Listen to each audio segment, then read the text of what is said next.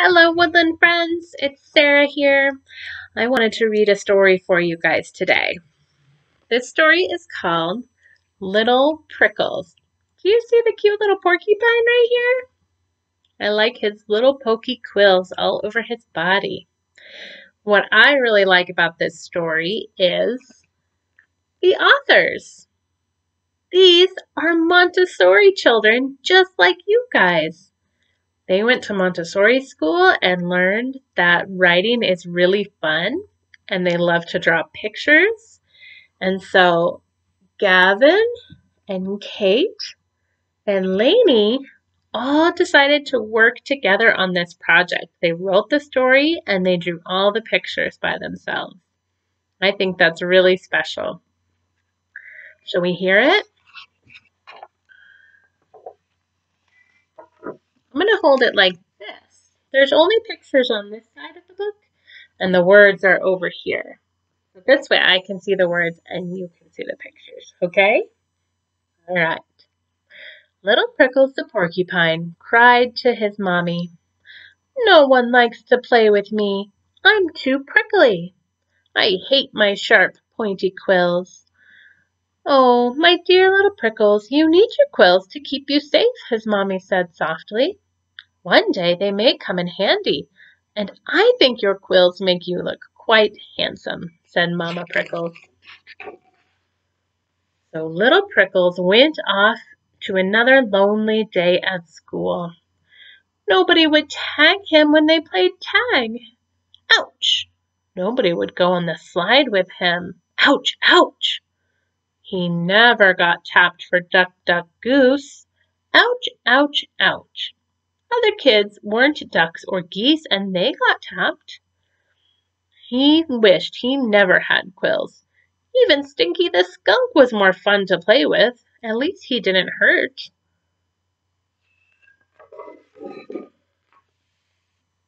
So he sat and sulked and was very, very grumpy. When Speedy the turtle asked if he wanted to go swimming, little Prickles grumbled. Just go away. I'm too prickly. And when Slimy the salamander asked if little Prickles wanted to play on the swings, all Slimy heard was, Go away, I'm too prickly. And when Quackers the duck asked if he wanted to play checkers, the answer was once again, Go away, I'm too prickly. He answered them all without ever looking up in his grumpy, grumpy voice. Hmm. One day at school, Mrs. Hoot was teaching them how to write the alphabet. The best way to write well, said Mrs. Hoot, is to have a nice, thin, sharp stick. If any of you have toothpicks at home, they work very well. You just dip the stink, stick in ink and. Wait! screeched little Prickles. I have tons of nice thin, sharp quills that would work perfectly.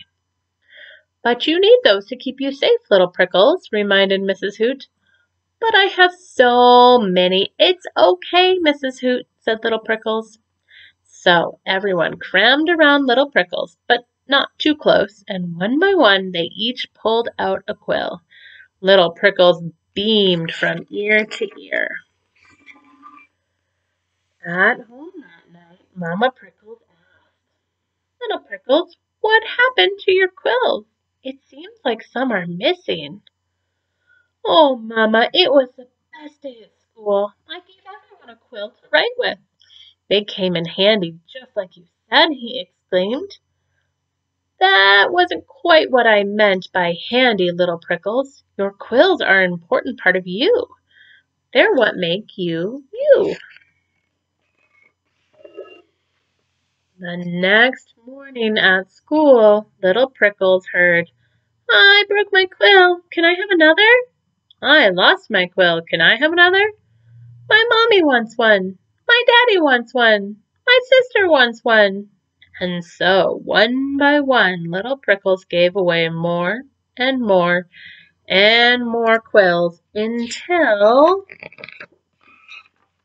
by the time Mrs. Hoot arrived at she gasped. Little Prickles, what has happened to all your quills? she asked with a trembling voice. I gave them away to all my new friends, little Prickle little Prickles blurted out happily. You did what? stammered Mrs. Hoot. But, little Prickles, look at your nice pink skin. You're a very tasty meal for a hungry fox now. In all of his happiness at having new friends, little Prickles hadn't realized just how few quills he had left. He swallowed a big lump in his throat. He sat by himself and felt scared and sad. Mrs. Hoot was right. Without his quills, he was a nice, tasty treat for a big, mean animal.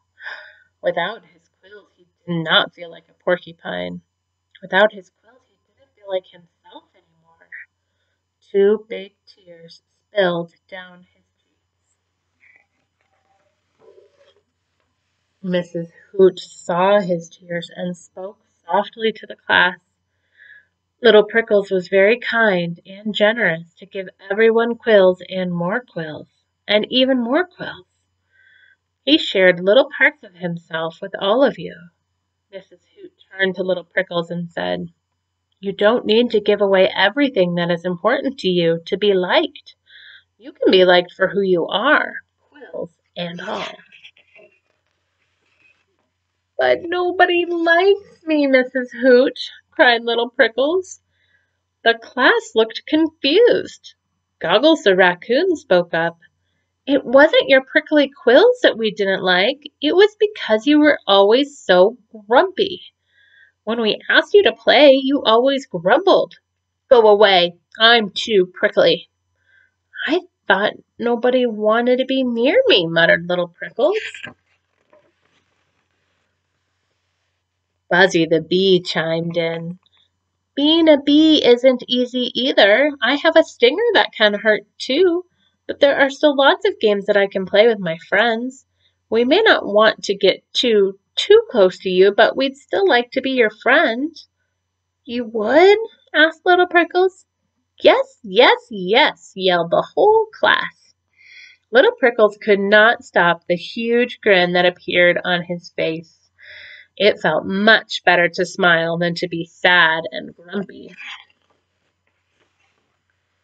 Now, what are we going to do with you, little Prickles? asked Mrs. Hoot, looking at his big pink tummy. Little Prickles' classmates knew exactly what to do. From that day on, they promised to keep Little Prickles safe until his new quills grew back. Every day, they formed a circle around Little Prickles and walked him all the way home to safety. And little Prickles happily joined in all the games he could play with his friends. It took a while for little Prickles' quills to grow back. When he looked like a porcupine again, Mamma Prickles said, Little Prickles, I have something for you. She plucked a quill from her side and said, Take this. There and use it wisely. Every time you write with it, remember it is what makes you special. Little Prickles carried the quill carefully to school, and on top of every paper he wrote, I am Little Prickles, quills and all. The end. What do you guys think? Do you think they wrote a good story? Did you like the pictures that they drew to go with it? I know I did. I thought it was a very fun story. I wonder if you guys will feel inspired to get some paper and pencil and maybe write your own story. I'm thinking about Alex and how you used to always make stories and staple them together and then leave them in the library in Lilac class for your friends to read. Sometimes you would read them to your friends and sometimes they could read them by themselves. It's a really fun thing to do if you have paper and pencils at home. I hope that I get to read some of your stories very soon when we can all be together again. Have a good time at home. Bye, guys.